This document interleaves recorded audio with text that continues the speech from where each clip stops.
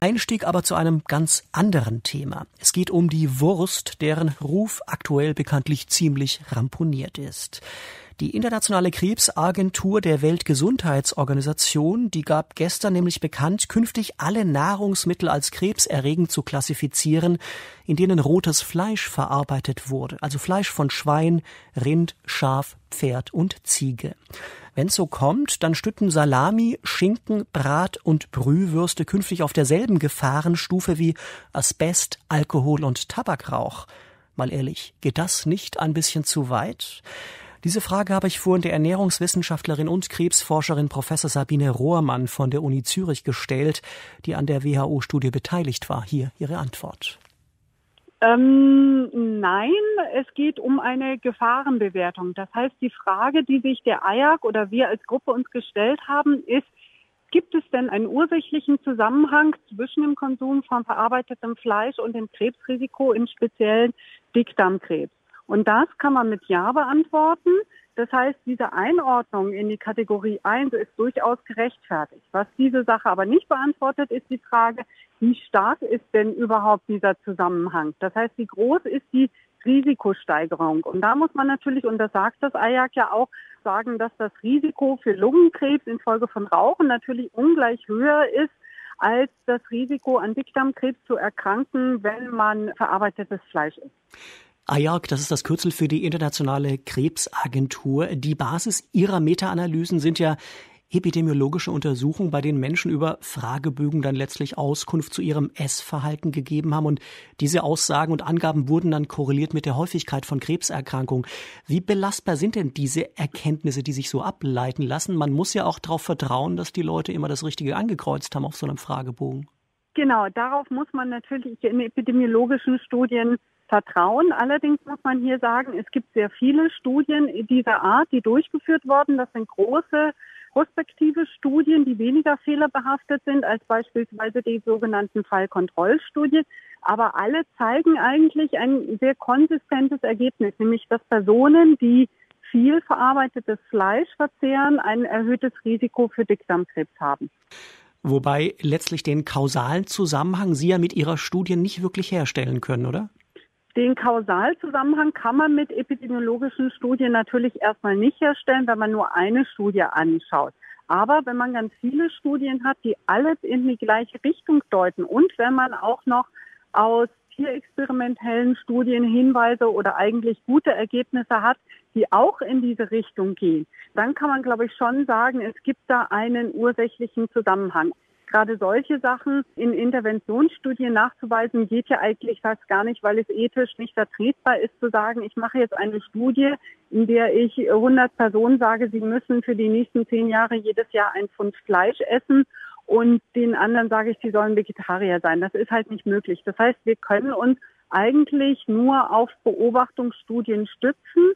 Wenn es aber ganz viele Studien dieser Art gibt, die alle mit dem Ergebnis in die gleiche Richtung gehen und wenn es auch aus mechanistischen Studien, aus Tierexperimenten unterstützende Ergebnisse gibt, dann denke ich, kann man schon sagen, da gibt es einen ursächlichen Zusammenhang.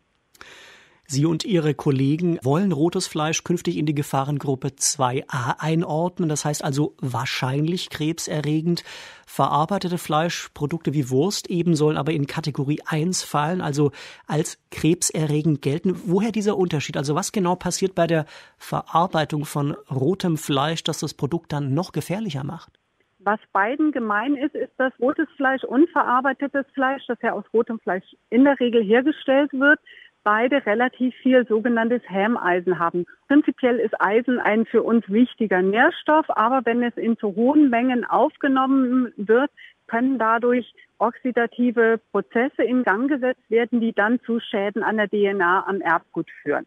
Und was beim verarbeiteten Fleisch zusätzlich noch dazu kommt, ist, dass zum Beispiel durch Räuchern polyzyklische aromatische Kohlenwasserstoffe entstehen, durch das Nitritpökelsalz werden verstärkt sogenannte N-Nitroso-Verbindungen gebildet und auch diese sind in Tierexperimenten krebserregend. Das heißt, es kommt zu dem Hemmeisen, das beiden rotem und verarbeitetem Fleisch eigen ist, kommen nochmal Verarbeitungsschritte dazu, die dann eben das Risiko nochmal steigern. Zu Geflügelfleisch macht Ihre Studie keine Aussage. Kann man davon ausgehen, dass das weitgehend harmlos ist? Dazu machen wir keine Aussage, weil wir es einfach nicht wissen. Also zum einen weiß man weißes Fleisch an sich, also nicht verarbeitetes weißes Fleisch, sondern Hähnchenfleisch als solches gegessen, ist erstmal nicht mit einem erhöhten Risiko assoziiert. Das ist zumindest das, was wir aus anderen Studien wissen. Das wurde vom AJAC aber nicht äh, evaluiert. Wenn man aber aus Geflügelfleisch Wurst herstellt, dann wird dem natürlich auch zum Beispiel Nitritpökelsalz oder Salz zugefügt. Es wird geräuchert und da weiß man nicht, welche Konsequenzen das hat.